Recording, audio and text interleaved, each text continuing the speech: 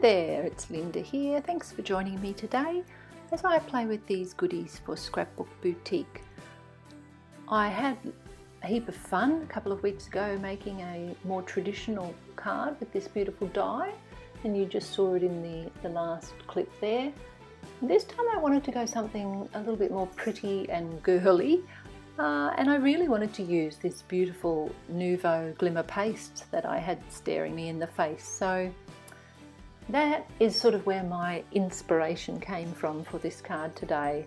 I used the purplish coloured glimmer paste and chose my cardstock colours to play nicely with that. So first up here you see me just getting my plaid stencil all pasted down or, or stuck down in place on top of my cardstock and then with my palette knife I'm spreading my Nuvo Tanzanite Lavender Glimmer Paste all over the plaid stencil. I'm being very careful to get quite an even coverage and there are open diamond sections on the plaid stencil so I'm really trying to make sure that, that I get good coverage on those open larger areas and of course you've got all the little stripes there so I'm just trying to cover. I do wish looking back at this now that see that big stripe on the right hand of my stencil there I do wish that I'd paid a bit, a bit more attention to that and um, smooth that down a bit because I do have to do it later once I peel the stencil up because it does leave what I felt was quite a defined line on that diamond area there. But anyway, we do manage to sort that out without too many dramas. So I'm just removing my painter's tape and then gently peeling up the stencil and it has left a great impression. I've got some removable tape just holding it in place. I'm just lifting it up from that and that will just rub off later once it's all dry. And here's the little bit I'm I was talking about where it was just a little bit too dark and defined and I just had to blend it a little carefully there um, just to sort of blend those that um, glimmer paste in a little bit more. Alright, so now on to the die cutting and these are all the pieces from the beautiful Cheery Lynn Brad the Reindeer die set and as I said I've chosen lots of purples and pinks and I'm even going to use that little sample piece there where I tried out the glimmer paste just so I'd know exactly what colour I was trying to match up to. So I've laid out all my die cut pieces, popped them all on my cutting plate. I'm cutting the second antler here just by popping it through again on the other side of the cardstock so I'm going to get the textured look again and just cutting here with my little fingertip craft knife.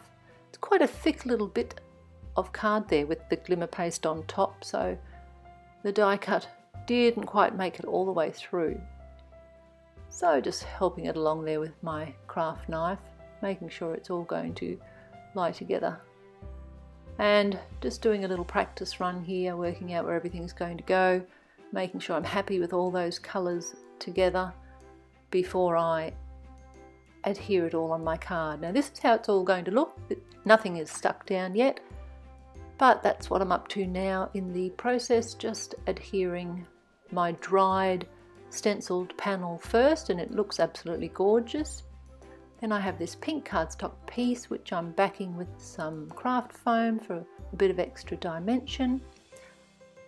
Adhering that with my liquid glue and then Brad I'm not sure he is Brad today. Maybe Brangelina might be uh, better.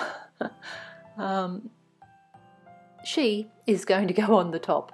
It would be a perfect card for uh, a young girl or a, a lady friend, girlfriend. You know, I'm sure they'd appreciate those gorgeous colours.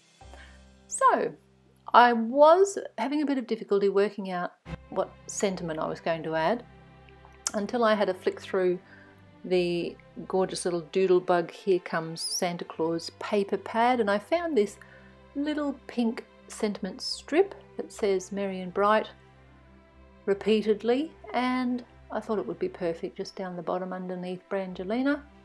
So I do add some foam tape to the back of that and I pop it up on the base there of the card and it works really well to give me a nice sentiment that blends well with the colours of the reindeer and ties everything together.